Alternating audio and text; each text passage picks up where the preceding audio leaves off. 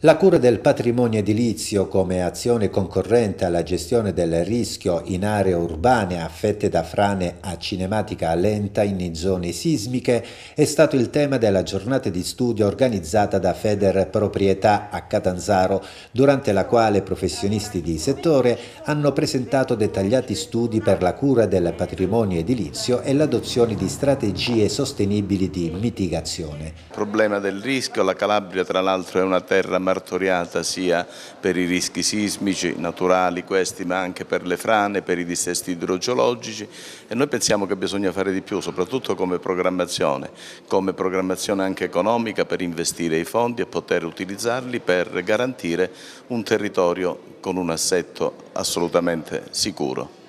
In assenza di adeguati interventi di mitigazione, il livello di rischio potrebbe non essere più accettabile il problema richiamato risulta di particolare impatto economico-sociale ed impone l'adozione di opportune iniziative da parte della comunità interessata. Le programmazioni si fanno non con il sistema dei vincoli lasciato là per decenni, ma si fanno con gli interventi risolutivi. Oggi le tecniche ci sono, i professionisti ci sono anche, quindi per noi sarebbe dire, un modo per rimettere in moto l'economia che, eh, come sappiamo,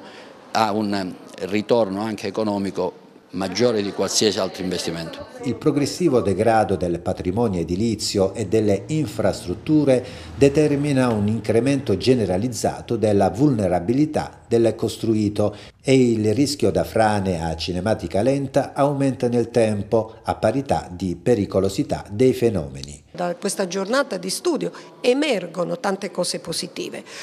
che ci sono strumenti adatti, ci sono mappature fatte, abbiamo la possibilità di poter intervenire, bisogna vedere la volontà di farlo. E le risorse e le risorse economiche, perché forse a volte le risorse economiche ci sono e bisogna saperle però utilizzare, focalizzare, incanalare per poter risolvere quel problema.